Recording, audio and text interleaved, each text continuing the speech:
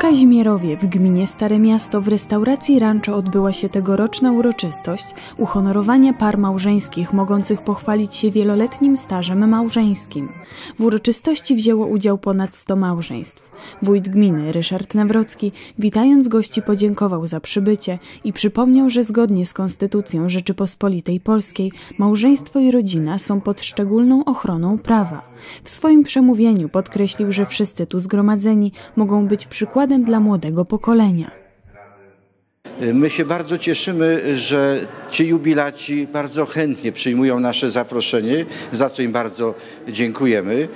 Jak również, że jest to możliwość spotkania się z sąsiadami, z przyjaciółmi z różnych miejscowości.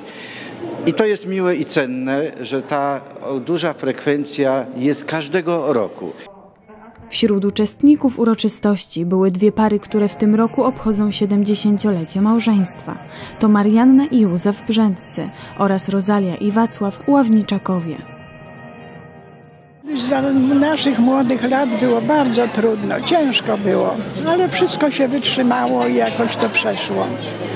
No i do tego czasu muszę się przyznać, że się żeśmy dorobili 11 wnuków, 13 prawnuków i jedną praprawnuczkę. To już mamy bardzo dużą rodzinę. Specjalnymi gośćmi uroczystości było 20 par z ponad 60-letnim stażem małżeńskim. W sposób szczególny medalem za długoletnie pożycie małżeńskie, tak zwane Złote Gody, przyznawanym przez prezydenta Rzeczypospolitej Polskiej, w tym roku w gminie Stare Miasto uhonorowano 13 par. Najliczniejszą grupę, ponad 70 par, stanowiły małżeństwa, które w tym roku obchodzą 25-lecie małżeństwa, tak zwane srebrne gody. Wśród nich Beata i Paweł Kwiecińscy z Liśca Wielkiego.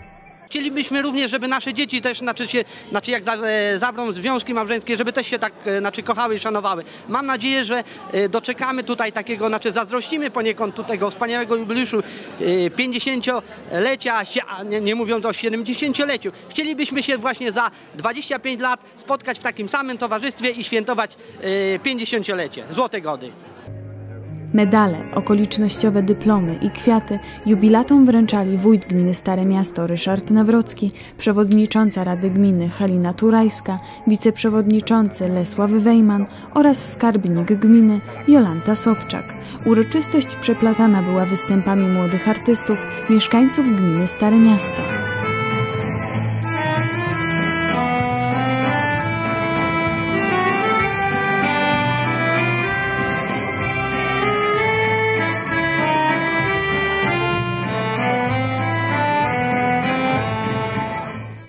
Uroczystość jubileuszu pożycia małżeńskiego ma w gminie Stare Miasto wieloletnią tradycję.